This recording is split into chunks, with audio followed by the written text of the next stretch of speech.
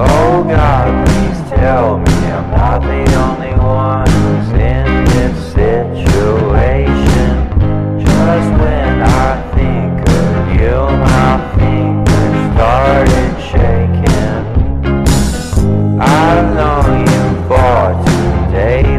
sorry I forgot your name. And it's not your fault